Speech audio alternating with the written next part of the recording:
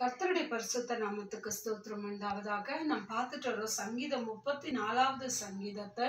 தாவீது எந்த சூழ்நிலையில அந்த சங்கீதத்தை எழுதினாருன்னு பார்க்கிறோம். அது மாத்திரம் இல்ல தன் பிராணன் தப்ப ஓடுகிற நேரத்துல எழுதின சங்கீதத்துல அவர் சொன்ன வார்த்தை கர்த்தரை நான் எக்காலத்துல ஸ்தோத்தரிப்பேன். அவர் துதி எப்பொழுதும் என் வாயில இருக்கும். அப்ப அவர் எக்காலத்துல கர்த்தரை ஸ்தோத்தரிச்சதுனால எத்தனை காரியங்கள்ல கர்த்தர் அவரை விடுதலை செய்து பாதுகாத்து வந்தாருன்னு சொல்லி ஒண்ணுல இருந்து ஏழு வசனங்களை பார்த்தோம். எட்டாவது வசனம் இப்படியா சொல்லப்படுது?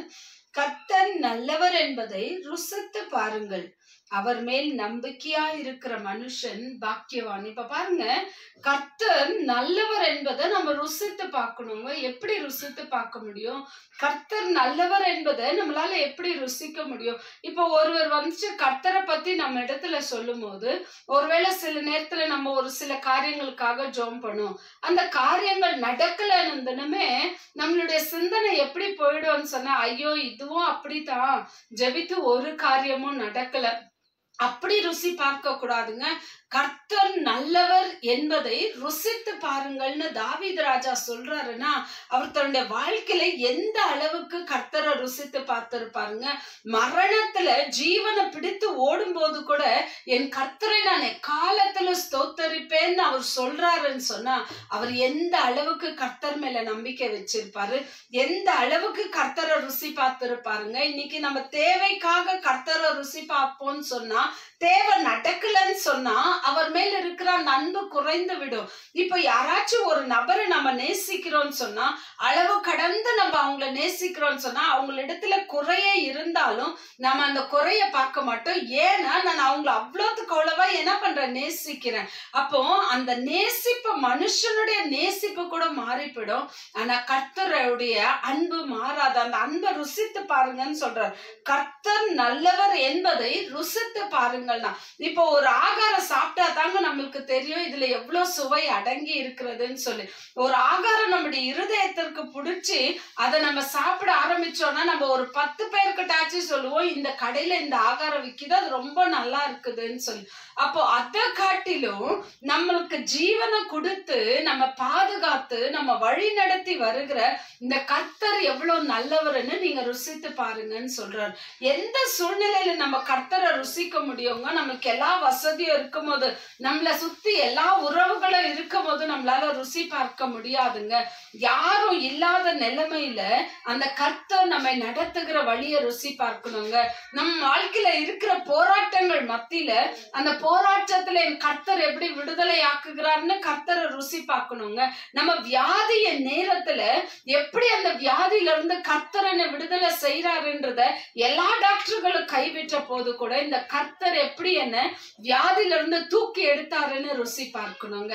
எல்லா உறவுகளும் தள்ளின போது கர்த்தர் எப்படி எனக்கு உறவாய் தாயாய் தகப்பனாய் கணவனாய் பிள்ளையாய் இருந்து என்னை எப்படி தேற்றினாருன்னு சொல்லி ருசி பார்க்கணுங்க. அதுதான் தாவீது ருசி பார்த்தாரு.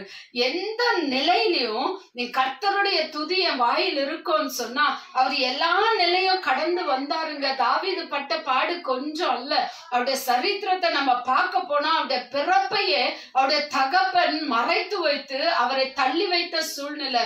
தாயின் கருவிலே தள்ளப்பட்ட ஒரு நிலை. தாய் கர்ப்பத்துல பாவம் தரித்தாள் என்று சொல்லப்படுகிற நிலை தாவீதினுடைய நிலை. அவருடைய பிறப்புல இருந்து இன்ன வரைக்கும் அவர் ஓடிட்டு இருக்காரு. ஓடுற நேரத்துல சொல்றாரு கர்த்தரை நான் காலத்துல ஸ்தோத்தரிப்பேன். அவர் துதி என் வாயில் இருக்கும். அப்படிப்பட்ட கர்த்தரை அந்த ஓடுற நேரங்களில கர்த்தர் என்னை நடத்தி வந்த வழிகளை நான் ருசி பார்த்திருக்கேன் நீங்களும் அந்த கர்த்தரை ருசி பாருங்க. அவர் மேல் நம்பிக்கையா இருக்கிற மனுஷன் பாக்கியவான் என்று வேதம் சொல்லுகிறது. அப்ப அவருடைய அவருடைய ருசி எவ்வளவு பெருசு அவர் கர்த்தரை சுவைத்த சுவை எவ்வளவு அதிகம் அவர் மேல நம்பிக்கையா இருக்கிற மனுஷன் எவ்வளவு பெரிய பாக்கியவான் என்பதை தாவீது இந்த இடத்துல குறிப்பிட்டு சொல்றாருங்க. வேதத்துல அநேக மனுஷர்களை நம் உதா உதாரணமாய் காண்பித்து கொண்டு போகலாம். யோபுவை காண்பிக்கலாம் எஸ்தரை காண்பிக்கலாம் ரூத்தை காண்பிக்கலாம் இவர்கள் எல்லாரும் அந்த வழிகளை கடந்து வந்தாங்க. தேவனுடைய ஆசிர்வாதத்தை பார்த்தாங்க. அதுதான் தாவித் ராஜா சொல்றாரு கர்த்தர் நல்லவர் என்பதை நீங்க ருசித்து பாருங்க. எல்லா சூழ்நிலையிலும் அந்த கர்த்தர் மேல இருக்கிற அந்த நம்பிக்கை அந்த விசுவாசம் நமக்குள்ள குறையாததா இருந்தா கர்த்தரை சுவைக்கிற சுவை எவ்வளவு பெருசுன்றதை நம்மளால கண்டு கொள்ள முடியும். அப்ப சந்தோஷமான நிலையில மட்டும் நம்ம துதிக்க மாட்டோம். எப்படியாப்பட்ட துக்கம் எப்படியாப்பட்ட அவமானம் எப்படியாப்பட்ட நிந்தனை வந்தாலும் நாம சொல்லுவோம் கர்த்தரை நான் காலத்துல ஸ்தோத்தரிப்பேன். அவர் துதி என் வாயில் இருக்கும். ஏன்னா கர்த்தர் நல்லவர் என்பதை நான் ருசித்து பார்த்திருக்கிறேன் என்று சொல்லும்படி. இன்றைக்கு எத்தனை பேர் அந்த சொல்லுகிற சூழ்நிலையில இருக்கீங்க? எந்த சூழ்நிலையில கடந்து போனாலும் கலங்காதீங்க. கர்த்தர் நல்லவர் என்பதை ருசித்து பாருங்க. அவர் நடத்துகிற வழி நல்லது என்பதை ருசித்து பாருங்க.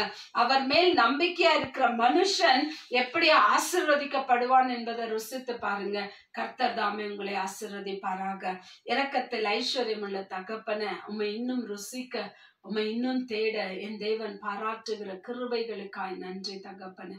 அண்டவரை இதை கேட்கிற ஒவ்வொரு பிள்ளைகளும் ராஜா எந்த சூழ்நிலையில ஓடினாலும் நீர் நல்லவர் என்பதை அவர்கள் ருசித்து பார்க்கும்படி கிருப பாராட்டுங்க. ஸ்துதிகன மகிமை எல்லாம் ஒருவருக்கு செலுத்தி இயேசுவி நாமத்துல ஜபிக்கிறோம். நல்ல பிதாவை. ஆமேன் ஆமேன்.